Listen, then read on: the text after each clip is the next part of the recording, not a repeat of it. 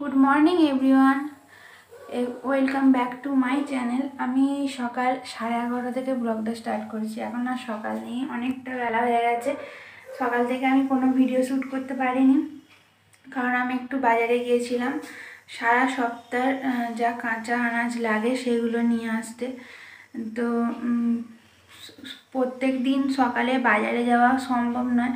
আমার হাজব্যান্ডের সকালে বাজারে যেতে খুবই অসুবিধা হয় সকাল সকাল উঠে। সকালে অফিস বেরোতে হয়, তাই জন্য সকালবেলা বাজার করতে যেতে পারে না। তাই ভাবলাম আজকে গিয়ে বাজারটা করে নিয়ে চলে আসি। কাল আবার রোববার রোববার দিনকে বাজারে প্রচুর ভিড় হয়, পা গলানো যায় না। আজকে শনিবার, একটু ফাঁকা ছিল, তো আজকেই চলে গিয়েছিলাম। তো সকাল থেকে আমার কিচ্ছু কাজ হয়নি, খালি রান্নাঘরটা পরিষ্কার করে রেখে রাত্রে যা খেয়েছিলাম, সেই সমস্ত বাসন টাসনগুলো ধুয়ে রেখে আর ব্রেকফাস্ট রেডি করে রেখে আমি চলে গিয়েছিলাম। আর এই এখন ফিরলাম সাড়ে এগারোটা বাজে। এখন আমি ড্রেসও চেঞ্জ করিনি। এবার ড্রেস চেঞ্জ করব তারপর ব্রেকফাস্ট করব। আর ঘর পরিষ্কার কাঁচা আজকে কিছুই হয়নি। আজকে ঘুম থেকে উঠতেও দেরি হয়ে গেছে সাড়ে আটটার সময় ঘুম থেকে উঠেছি। একদম বুঝতেই পারিনি যে এতটা বেলা হয়ে গেছে। তো চট করে তোমাদের দেখিয়ে দিই আমি কি কি বাজার করে নিয়ে এই যে দেখো এটা হলো বক ফুল অনেক দিন পর পেলাম বক ফুলের বড়া খেতে দারুণ লাগে। তো দেখতে পেলাম, নিয়ে চলে এসেছি বক ফুল। একটা বড় সাইজের ফুলকপি নিয়েছি। আর এটা হলো লেটুস শাক। লেটুস শাক সহজে পাওয়া যায় না। তো আজকে দেখতে পেলাম, নিয়ে এসেছি। তবু এইগুলোর অবস্থা খুব একটা ভালো না। হলেও নিয়ে এসেছি অনেক দিন পর পেলাম। বিনস এনেছি তারপর মটরশুঁটি, শিম, লেবু টমেটো শশা কুমড়ো, এটা হলো বেতো শাক। বেতো শাক অনেক দিন পরে পেলাম।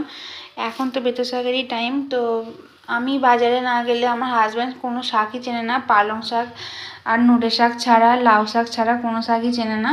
তো আজকে গেলাম আমি এটা দেখতে পেলাম। তো একটা আঁটি নিয়েছি বেতো শাক। আর এটা গাজর, কাঁচা লঙ্কা বেগুন। বেগুনটা অনেক নিয়ে নিয়েছি, প্রায় এক কেজি বেগুন আছে। কারণ বেগুনটা আমাদের খেতে খুবই ভালো লাগে। ভাজা পোড়া সব রকমই ভালো লাগে। আর অল্প করে এই যে নিয়েছি পেঁয়াজ, কালি, পেঁয়াজ, আদা, রসুন আর একটা কলার, পাকা কলা নিয়েছি, কাঁঠালি কলা। কলা খেতেও দারুণ লাগে। আর এখানে বেসিনে মাছ আছে, তিন রকমের মাছ আছে। একটা মাছ, এটা অল্প করে নিয়েছি। এটা মোরলা মাছ বোধহয় নিয়েছি। আর এতে আছে চিকেন। আর এতে আছে দু রকমের মাছ, একটা ছোট বাটা মাছ আর একটা বড় বাটা মাছ। দু রকম মাছ আছে। তো আজকে সবই টাটকা মাছ নিয়েছি গাড়ির মাছ কিছু নিইনি। তো এই হলো আজকে আমার বাজার। এবার চটপট ব্রেকফাস্টটা সেরে নিই। সেরে নিয়ে ভাত বসিয়ে ভাবছি ঘরটা পরিষ্কার করব। না হলে কাচবো, যে কোনো একটা কিছু করব। ঘরটা পরিষ্কার বেলায় করলেও হবে। ভাবছি কেচে নেব। কারণ বেলায় জল চলে যাবে, একটা বাজনা বাজতেই জল চলে যাবে। তাই জন্য ভাবছি যে আগে কেচে নেব, তারপরে আগে ভাতটা বসিয়ে দিই, দিয়ে ব্রেকফাস্ট করে নেব, তারপর কাচবো। তো, তারপরে আমি দেখাচ্ছি আমি কি কি রান্না করছি। আজকে আমি আর কোনো কাজ তোমাদের সাথে শেয়ার করতে পারছি না। কারণ সকাল থেকে উঠে দেখতেই পাচ্ছ, ভীষণ ব্যস্ত। কাজ শেয়ার শেয়ার করার মতো টাইম নেই। তো আমি আগে ব্রেকফাস্টটা করে নিই। দুপুরবেলা কী কী রান্না করেছি আমি আর দেখাতে পারিনি। কারণ রান্না ঘরে সমস্ত কাজ করতে করতে এতটা দেরি হয়ে গেছে যে তাড়াতাড়ি করে যাকে একটু রান্না খালি করে নিয়েছিলাম। ওখান থেকে এসে বললাম যে আমার কাজা হয়নি, ঘর মোজা হয়নি, কিছুই হয়নি। তো সেই সমস্তগুলো করলাম, করে যা সবজি ছিল সেইগুলো সব ভালো করে ধুয়ে টুয়ে রেখে, আমি তো সবজি এমনি রাখি না, ধুয়ে ফ্রিজে তুলি। তো সেইগুলো সব ধুলাম, এই যে এখানে এখনও ধুয়ে রাখা আছে।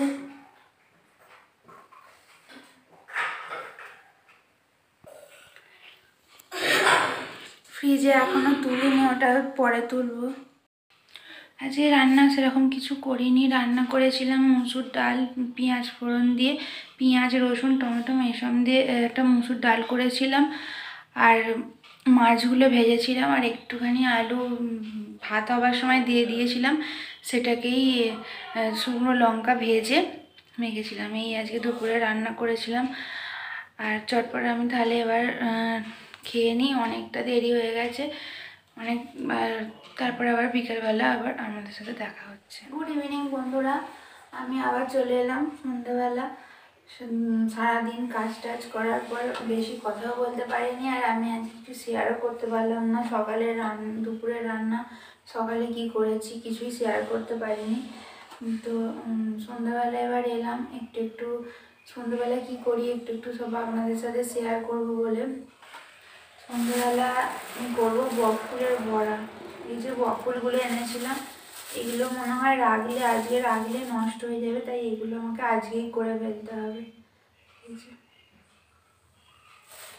আজকে এগুলো করে ফেলতে হবে। আর এইদিকে দেখো, এত বাসন দুপুরবেলা পড়েছিল, সমস্ত কিছু মেজেছি, মাজার পর এখন এগুলো গোছানো হয়নি, জায়গা জিনিস জায়গায় গুছিয়ে রাখব। আর আজকে আমার একটু ঠান্ডা লাগছে, তাই একটু সোয়েটার গায়ে দিয়েছি। ঠান্ডাটা আজকে বেশ ভালোই লাগছে।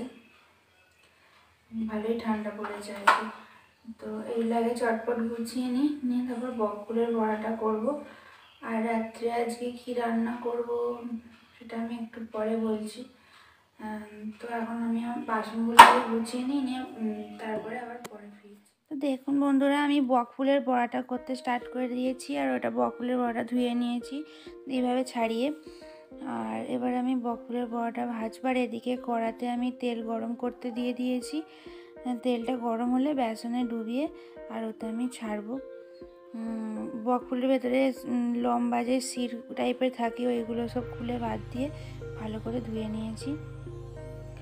আর বেসনটাও আমার গোলা রেডি হয়ে গেছে। একটুখানি সামান্য পোস্ত দিয়ে দিয়েছিলাম বেসনটাতে। এবার দেখছেন এভাবে ডুবিয়ে আমি বেসনে আর বকফুলের বড়াটাকে করি। আর কীভাবে করে আমি জানি না, আমি এইভাবেই করি। আমি এইভাবেই শিখেছি বা দেখেছি, ছোটো থেকে এইভাবেই খেয়ে এসেছি, তো আমি এইভাবেই করি।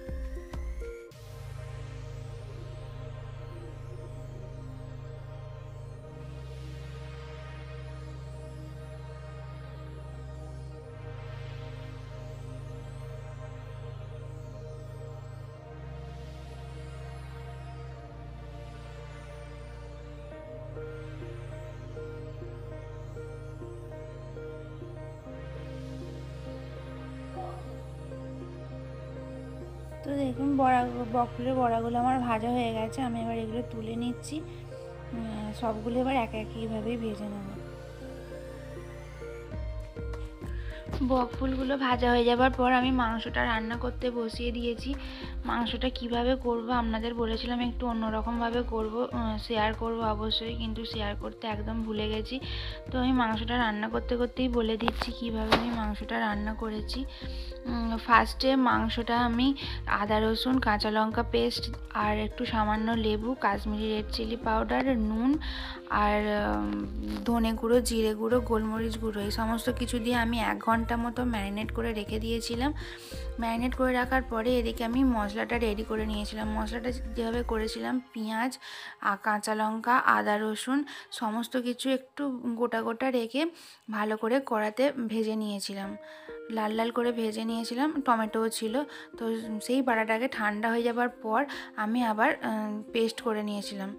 মানে যেটা ভেজেছিলাম মশলাটা, পেঁয়াজ, আদা, রসুন, সেটাকে ভালো করে পেস্ট করে নিয়েছিলাম। নেওয়ার পরে মাংসটাকে আমি কড়াতে অল্প অল্প করে দিয়ে দুবারে, আমার তো অল্প মাংস দুবারেই হয়ে গেছিল, কড়াতে দুবার দিয়ে ভালো করে ভাজা ভাজা করে নিয়েছিলাম। যে মাংসটা ম্যারিনেট করে রেখেছিলাম সেই মাংসটা। তো ম্যারিনেট করা মাংসটাকে ভালো করে ভেজে, সমস্ত মাংসটাকে ভেজে তুলে নিয়ে সেই কড়াতেই আমি কিছুই দিইনি। জাস্ট ওই যে মশলাটা পেস্ট করেছিলাম, পেঁয়াজ, আদা, রসুন, টমেটো, কাঁচা লঙ্কা, ভেজে যে পেস্ট করা মশলাটা, সেটা আমি দিয়ে ভালো করে কষিয়ে নিয়েছিলাম। কষানোর পরে যখন দেখলাম তেল ছেড়ে গেছে, তার মধ্যে আমি মাংসটা দিয়ে দিয়েছি। তো মাংসটা দেওয়ার পরেই আপনাদের সাথে ভিডিওটা শুরু করেছি। আমি একদম ভুলে গিয়েছিলাম। যে দেখাবো আমি কীভাবে মাংসটা রান্না করছি। তো সরি তার জন্য কিন্তু আমি এখন বলে দিলাম, আমি নেক্সট বার যখন করব, আপনাদের সাথে অবশ্যই শেয়ার করব।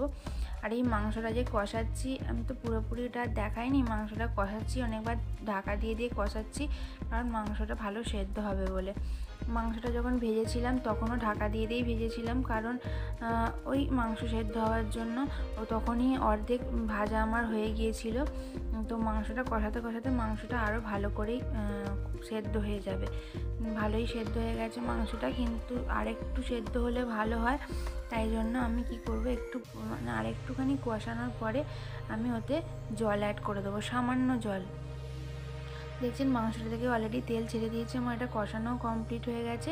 এরপর আমি এতে সামান্য জল দিয়ে দশ থেকে পনেরো মিনিটের জন্য ঢাকা দিই দশ মিনিটও না, এই দ আট, ন মিনিট মতো সাত, আট মিনিট মতো মাংসটাকে ঢাকা দিয়ে রেখে দেবো। তো ঢাকা দিয়ে দেওয়ার পর এটা কীরকম আসে সেটা আপনাদের সাথে শেয়ার করছি এক্ষুনি।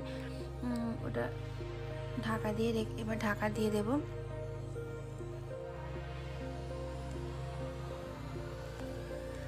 মাংসটা ঢাকা দিয়ে দিলাম। এবার দশ মিনিট, সাত আট মিনিট পর মাংসটা খুলে দেখি এরকম এসেছে রঙটা মাংসটার কালারটা, মাংসটার কালারটাও সুন্দর হয়েছে এবং খেতেও অসাধারণ হয়েছিল। তো এবার মাংসটা আমার রেডি হয়ে গেছে। আর একটুখানি ফুটলে এটা নামিয়ে নেব। নামিয়ে নিয়ে গরম গরম খেয়ে নেব। অনেকটা রাত হয়ে গেছে, কালকে সমস্ত কিছু করতে অনেক দেরি হয়ে গেছে। তো বন্ধুরা, ভিডিওটা আমি আর বেশি বাড়ালাম না। ভিডিওটা আমি এখানেই শেষ করছি। তো আপনারা সবাই সুস্থ থাকুন, সাবধানে থাকুন। তো আজকের মতো টাটা অ্যান্ড গুড বাই আর মাংসটার লাস্ট কালারটা একটু দেখে নিন। তো আবার কাল দেখা হচ্ছে।